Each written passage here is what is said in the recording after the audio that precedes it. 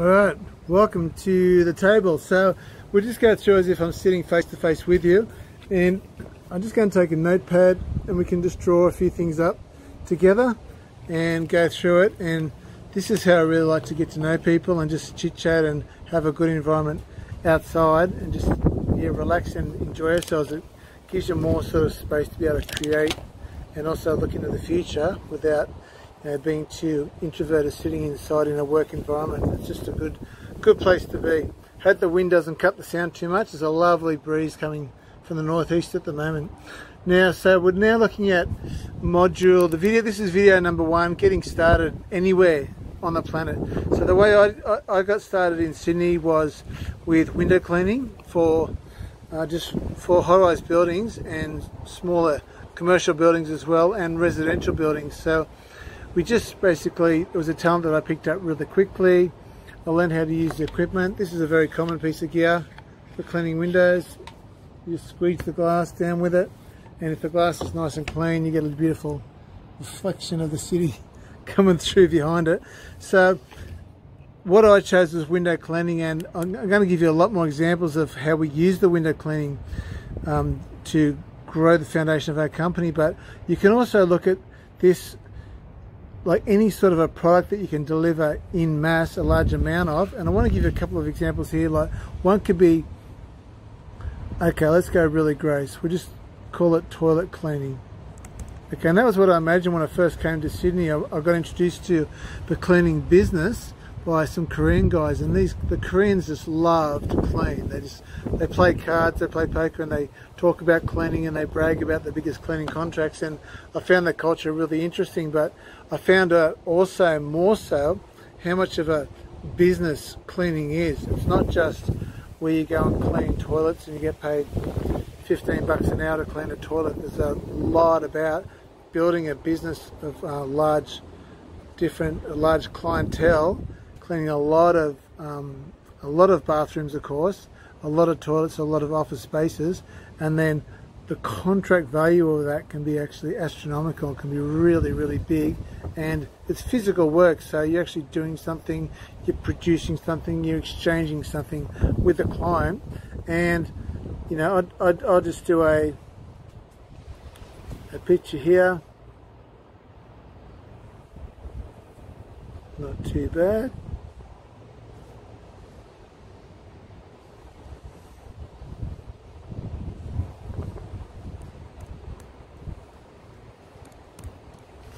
So here's my picture of a toilet. You see it's a nice shiny clean toilet, alright? So we've got 5 million people in Sydney, so you know, probably the average household is like 5 per household, so there's probably a million toilets, a million bathrooms in this city.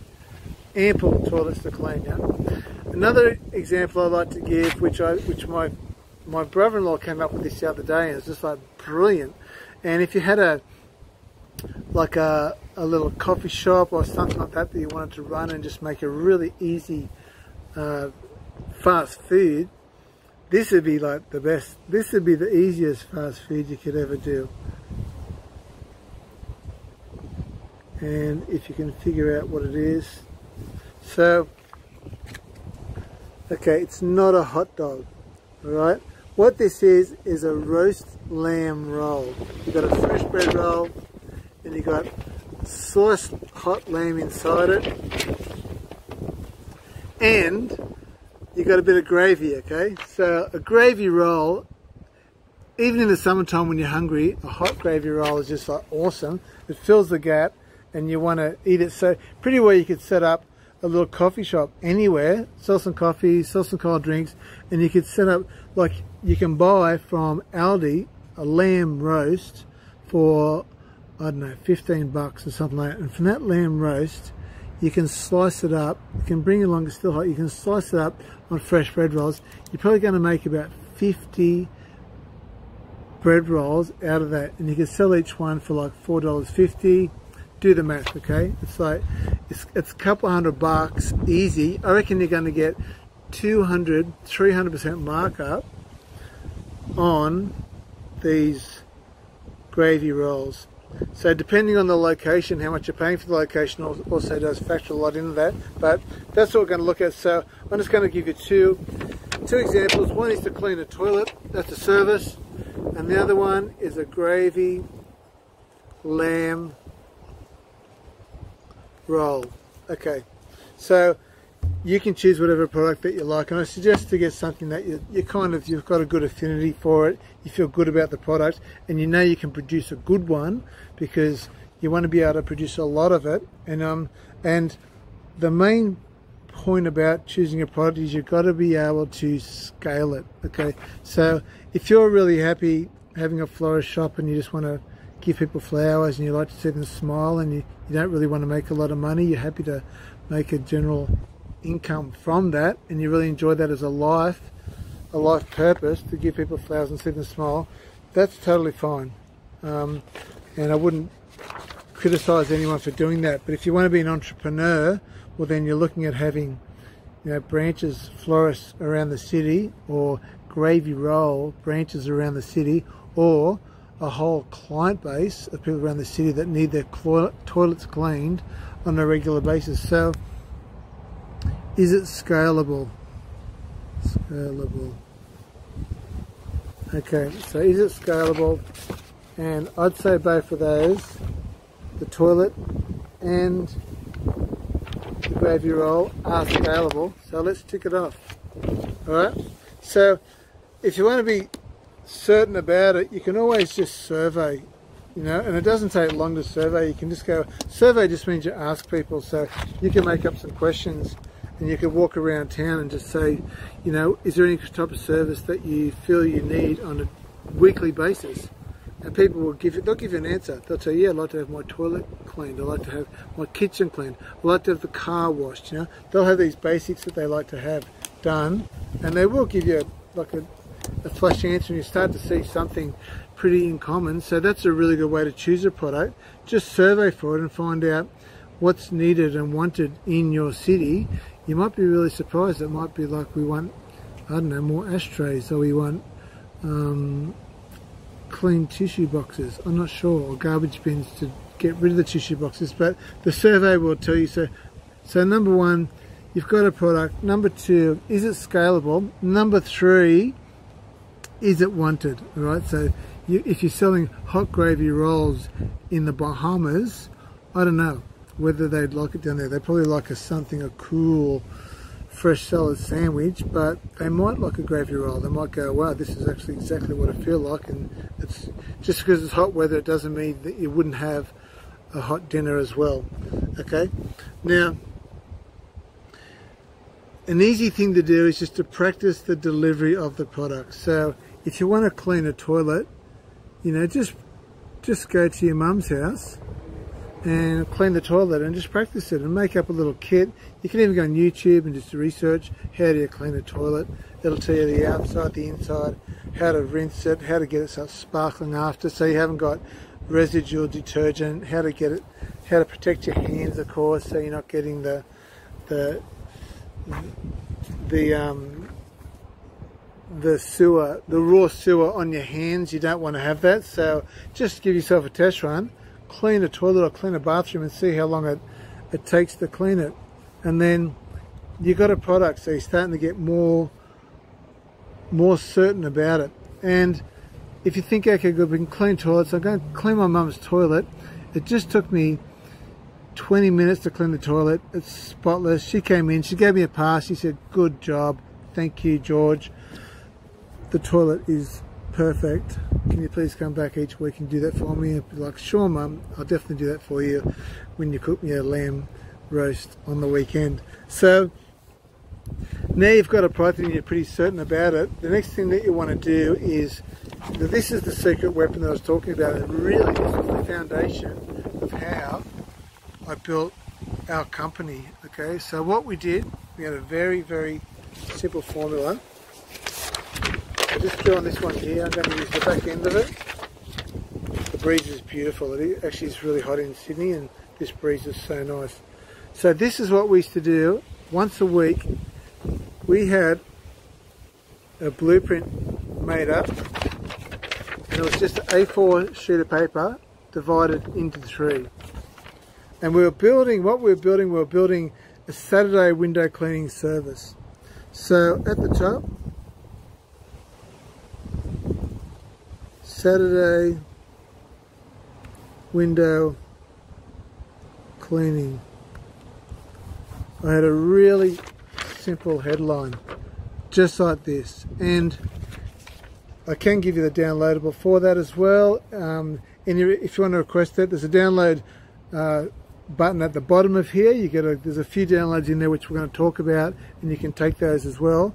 But if you want a template to work off, I'll give you one, and you can design your own and just do whatever you want with it. But we were working on building up the Saturday window cleaning, and I had a simple flyer. And then I had a photo. It wasn't even a photo. It was just a. It was just a picture of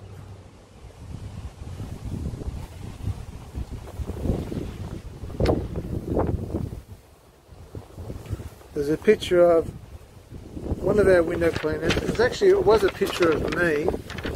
We had a picture of me just cleaning the window and you can see the squeegee goes gets the squeegee there and it gives a nice curve.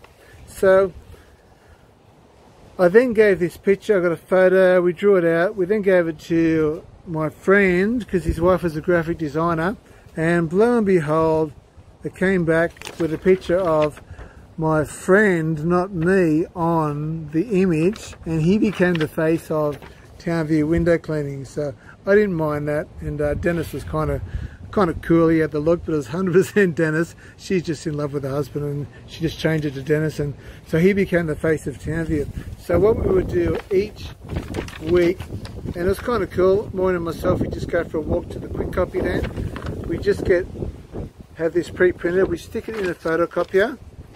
We'd run out about 200 copies. We then go to the guillotine and we slice them up into piles of brochures and we would then have stacks of one third page brochures ready to go. Super simple.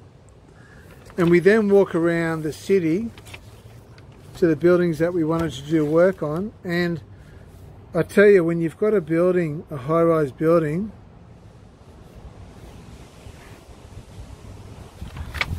that looks like this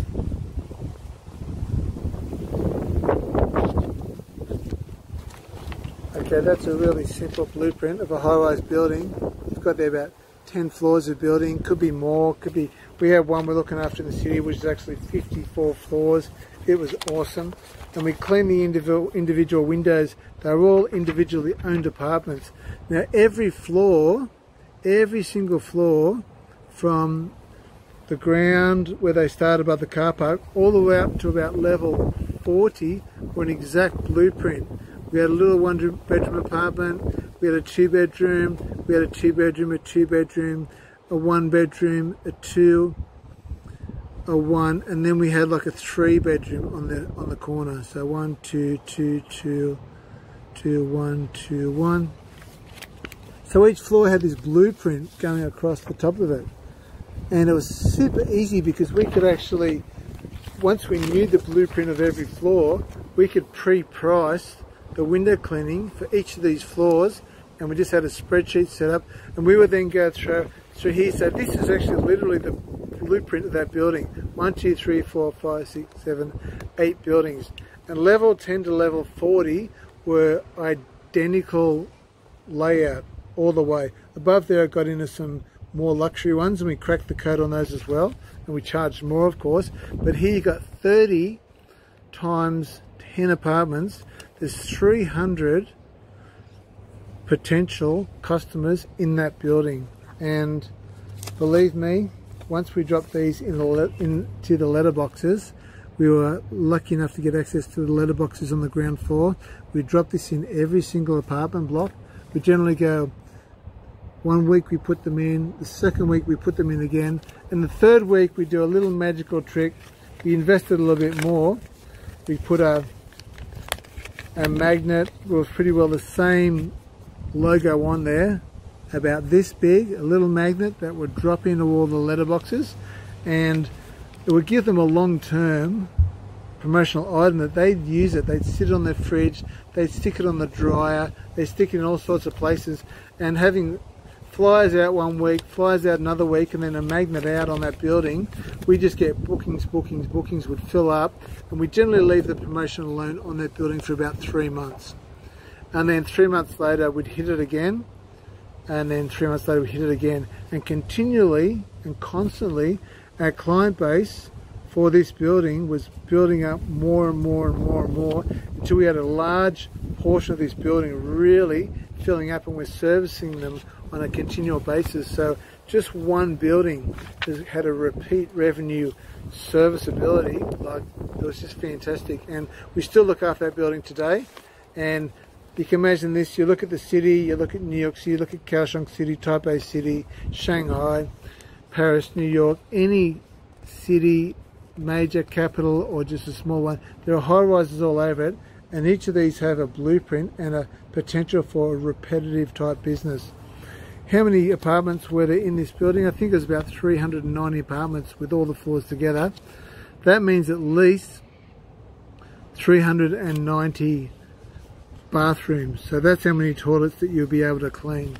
If you've got a flow of people coming out, of here, a large population, I'm sure you could sell a lot of lamb gravy rolls to these guys as well if they started to get used to you being around a little corner coffee shop just at the base of here, especially if you had three or four or half a dozen of these high-rise buildings around there and they knew where to come and get the gravy roll, they wouldn't be able to resist it. As long as you kept it fresh and spot on, on point, they'd be coming all the time. So looking after this group and growing it and servicing it, this is the first formula step in regard to building a client base.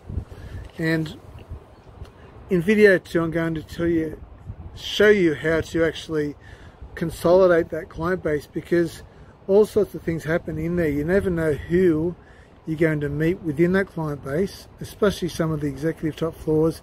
They're, they're committee members on the building, they're associated with other buildings, and you get all sorts of recommendations. All you've got to do is do a great job yeah, we um we were in the mailroom one night and a gentleman walked in. He's like, "Hello, hello. What's all this propaganda?" While we were putting out the brochure, and he took it. And uh, anyway, it was the Lord Mayor for Sydney, and we ended up cleaning his apartment, and he was totally cool. So don't be scared. If people complain about the junk mail or they've got the letter on their box junk mail, just don't put it in. Whatever, respect their privacy. But people want to hear about you. Do not underestimate the power of a small piece of paper and the future is getting more paperless but this little item here will make a lot of continual revenue for you and introduce business and referred business just by passing it out and putting it in a letterbox it's quite powerful do not underestimate it we'll talk about different types of promotional Of course, you've got the internet. Facebook is getting more and more powerful, targeted uh, promotion, and uh, newsletters and all types of things. So, but that was the first one I want to show you because it was the foundation of our company, and we grew from there. And here I am. I'm sitting at my warehouse that I love so much. I'm so proud of, and uh, I'm looking forward to seeing you on the second video. We'll talk some more. Cheers.